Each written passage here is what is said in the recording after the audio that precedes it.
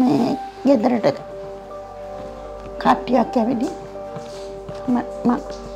ඇවිලින් මේ මේ දෙන්න මේ තාත්තවයි පුතාවයි අරගෙන ගියා රෑ ඒ ගෙනිච්ච ගෙනිච්චමයි අද වෙනකුණුත් ඇහැටවත් දකින්න නෑ Tens of thousands of people are approximated to have gone missing during the armed conflict between Tamil militants and the government of Sri Lanka. And because of the political violence related to the Southern Youth Insurgency between 1987 and 1991. According to the Center for Policy Alternatives, a total of 43,381 cases were reported to a former commission of inquiry in the late 1990s. A more recent commission of inquiry, established in 2013, received around 18,100 civilian complaints and over 5,000 cases of missing armed personnel. இடம் கடைசி இறுதிக்குட்ட யுத்தத்தின் போது நினைக்கின்றேன் மே மாதம் பதினாலாம் தேதி எனது மகன் அவர் சொன்ன விடயம் ஒரு நாளைக்கு ஒரு நேரம் கஞ்சி குடிக்கிறாங்க இன்றைக்கு அதுவும் இல்லை என்று ஒரு மெல்லியொரு புன்சிரிப்போட கூறியிருந்தார். என்ற அந்த தூரத்துக்கு இந்த முள்ளிவாய்க்கால் நிலைமை மாறி இருந்தது அந்த அப்படியான ஒரு நிலையில தான் என்னுடைய மகன் இராணுவ கட்டுப்பாட்டு பகுதிக்கு க சாப்பாடும் இல்லாமல் இராணுவ கட்டுப்பாட்டு பகுதிக்கு வந்து இராணுவத்தால் கூட்டி செல்லப்பட்டார். விசாரணைக்குன்னு சொல்லி கூட்டி செல்லப்பட்ட மகன் பின்னேரம் வரை வீடு திரும்பாதால் அவருடன் வந்தவர்கள் எனக்கு வந்து கூறினார்கள். உங்களது மகன் எங்களுடன் வந்தார். அவரை விடவில்லை இராணுவம் கூட்டி சென்றேன்னு சொல்லி. அந்த நிமிடத்திலிருந்து நான் ஒவ்வொரு நலன்புரி நிலையம் அவரை அவரை தேடினேன். அவரது ஃபோட்டோவையும் கொண்டு. உண்மையாகவே அப்போது நான் ஒவ்வொரு ஒவ்வொரு நாளும் தேடும்போது எனக்கு கொஞ்சம் சிங்களம் தெரியும் அப்போ கேட்பேன் அந்த படத்தை காட்டி அழுதழுது A critical example of an enforced disappearance that developed into a legal trial was the case of Krishanti Kumaraswamy. This was a case in 1996 where an 18-year-old student, Krishanti Kumaraswamy, disappeared after she was raped and murdered by several members of the armed forces on duty at the Chemmani checkpoint. Family and friends who went in search of her were also killed. By 1998, the court sentenced six soldiers and one reserve police officer to death in the Kumaraswamy trial. This case demonstrated the first time members of the armed forces and the police were given maximum sentences for grave human rights violations.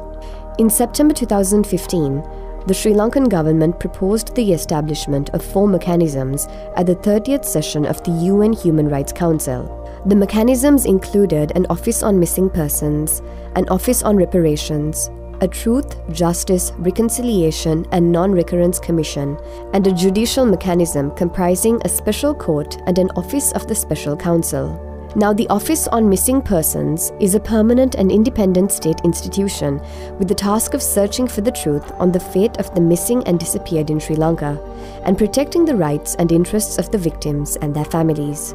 On 28 February 2018, the OMP were made operational.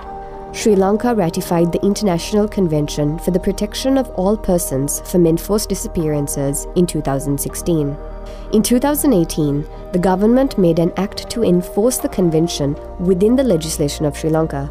The Office on Missing Persons uh, was an institution that was established and it began a lot of important work. Um, I think resources, uh, a new level of commitment and political will needs to be infused so that that particular office can resuscitate and, and begin its work once again because that work is not complete. Uh, that whole operation of tracing the missing was never completed and that is one thing that needs to happen. The Enforced Disappearance Act has to be understood as not only dealing with the question of non-recurrence but also dealing with the question of accountability for past violations. In a study published in the International Journal of Humanities and Social Science on the impact of enforced disappearances on women headed households in the northern province, a mother explained that families of the deceased and families who have a death certificate are entitled to apply for housing schemes and compensations. She said that she and her family are not like these families because she wants to know the truth about her disappeared husband and she wants justice. She also added that they are not in a position to accept her husband's death because if they do so, their relatives, the husband's family members, and the neighbors would say that she is greedy for free aid. Psychological help, actually, there are some few organizations who conduct those things, but government never took it as an issue.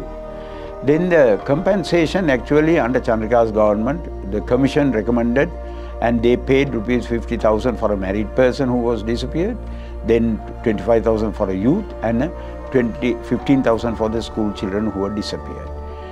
Then after that, uh, they tried to issue the death certificate even in north, in north sometimes by force and they paid nearly about 100,000 rupees if they agreed to take the death certificate. Activities that promote the well being of affected people include counseling, creating safe social spaces, accompaniment, protecting informed consent, and promoting agency and control over processes by sharing information and advocating for victim and survivor participation.